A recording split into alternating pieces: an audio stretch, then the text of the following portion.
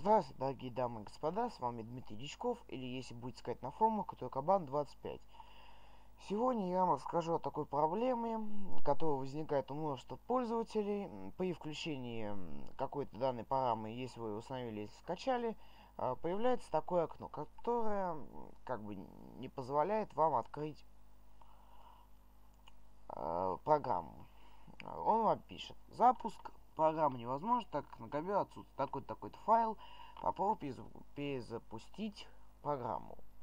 Э, это не поможет, даже если вы будете перезагружать компьютер. Все равно понадобится вам вот этот файл. Для начала вам нужно войти на, на Яндекс и вбить данный файл, который надо найти, для Windows 7 скачать. Потом пишет все о файлах, заходит на эту ссылочку.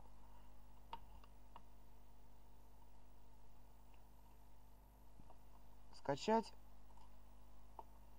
Открываете. Все. Данный файл у нас есть. Так.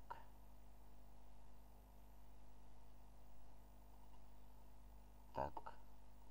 Все. Пока. Сейчас мы уменьшим чуть-чуть. Так. Теперь надо узнать, где находится данная программа. Смотрим Power Files, все, нам известно. Теперь мы заходим. Открываем нужную программку, точнее нужную папочку, берем и скопируем этот документик. Можно его сначала, вот когда он вам просит открыть, можете открыть его в блокноте. Обычно все такие документы через блокнот. Видите, это код. Это код для программы.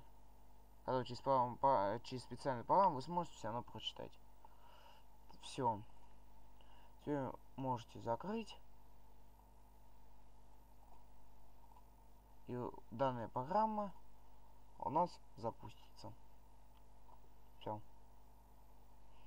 Вот такими непро э, движениями, простым способом можно запустить программу, если что-то не получается, пишите.